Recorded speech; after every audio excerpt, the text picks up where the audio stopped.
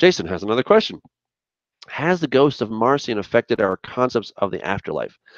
That is an interesting question. I don't know if Marcion has necessarily.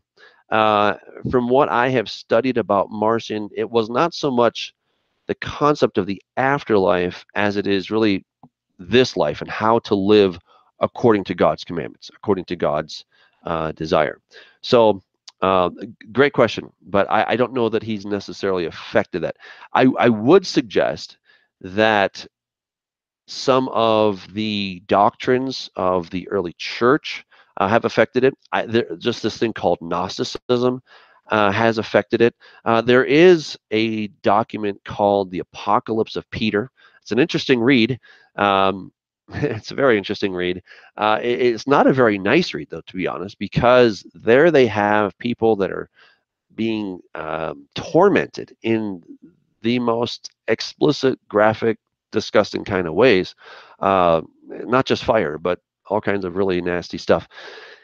And it's interesting when you compare those ideas of Gnosticism, you don't really find those in Scripture. But what you where you do find those, if you go all the way back to the Book of the Dead in uh, in Egyptology or in Egyptian texts, uh, there you'll find that the Egyptians, the ancient Egyptians, had a rather um, uh, robust uh, perspective of what happened to somebody. Of course, this was probably in the New Kingdom, so probably around uh, 1100, 1200 BC, somewhere in there, uh, maybe as late as 7, 800, something like that, uh, BC. Uh, so again, the theologies do change over time, but but that is something that we do find really in ancient Egypt more so than the Bible. Um, so uh, and let me just say one more thing about the concept of hell. When Jesus talks about it in Mark chapter 9, he says that it's better to enter into life, you know, missing your hand, than to enter into Gehenna, uh, you know, you know, with everything intact, where the worm does not die and the fire is not quenched. And he's quoting from Isaiah 66. In Isaiah 66, Isaiah 66 uh, verse 21, Isaiah 66, he says, um, he says, For as the new heavens and the new earth which I will make shall remain before me, says the Lord, so shall your descendants of your name remain. And it shall come to pass that from one new moon to another, and from one Sabbath to another, all flesh shall come to worship before me, says the Lord. And they shall go forth and look upon the corpses of the men who have transgressed against me, for their worm does not die, and their fire is not quenched. They shall be an abhorrence to all flesh.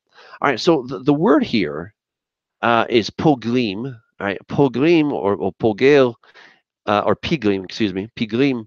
This is a dead body. It's a corpse, right? It's lifeless. There's no life at all in this uh, in, in, this body, and that's what the word piglim is all about. It's a lifeless body. It's a corpse.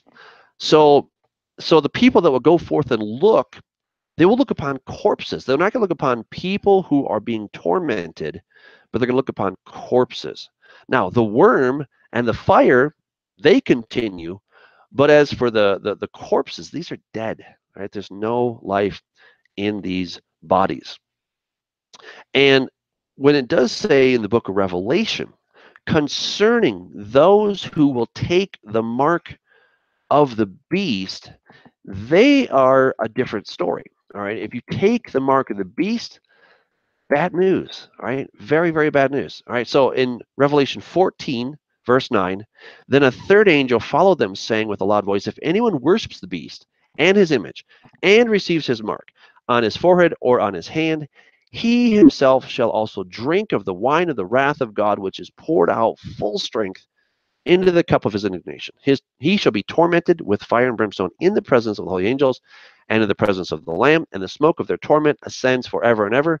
And they have no rest day or night who worship the beast in his image and whoever receives the mark of his name. All right, so it's kind of sandwiched, right? So the people who very specifically are going to be tormented with fire and brimstone in the presence of the holy angels in the presence of the lamb and who and and whose smoke uh, from the torment will go up forever, and who have no rest day or night. Who are these people?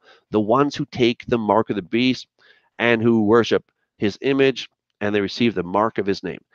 These are so worship the beast, they take uh, his mark, they receive his mark, and they worship the image of the beast as well. So those three things.